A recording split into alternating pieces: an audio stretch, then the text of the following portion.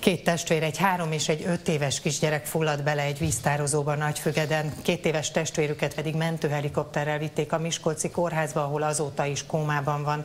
Azt egyenlőre nem tudni, hogyan tudtak bejutni arra a telepre, ahol a tűzoltáshoz tárolták a vizet, mint ahogyan azt is vizsgálják, hogy hogyan történhetett a tragédia.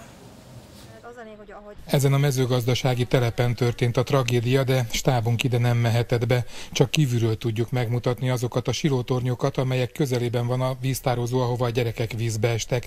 A helyszínt ismerők szerint itt egy földbeásott fóliával kibérelt medencében tárolják a tűzoltáshoz szükséges vizet. A három kicsi eddig tisztázatlan körülmények között került itt a vízbe. Kora délután három testvér egy nagyfüggedi tűzi víztározóban szenvedett balesetet. Egy három éves és egy öt éves gyermek a helyszínen életét vesztette, két éves testvérüket a mentőszolgált munkatársai mentőhelikopterrel kórházba szállították. A faluban mindenkit megrázott az eset, csak nagyon kevesen akartak beszélni a történtekről. Ez egy pillanat műve volt. Na, azt mondják, hogy az anyja,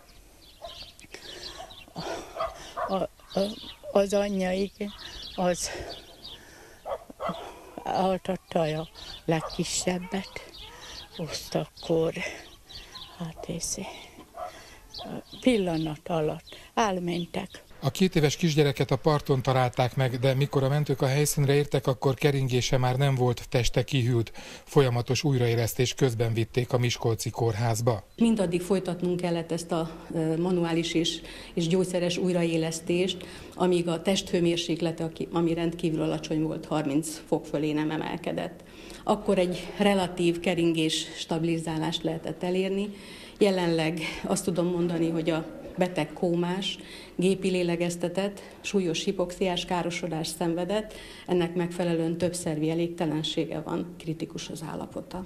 Azt, hogy miként kerültek a kisgyerekek a veszélyes helyre, még vizsgálják.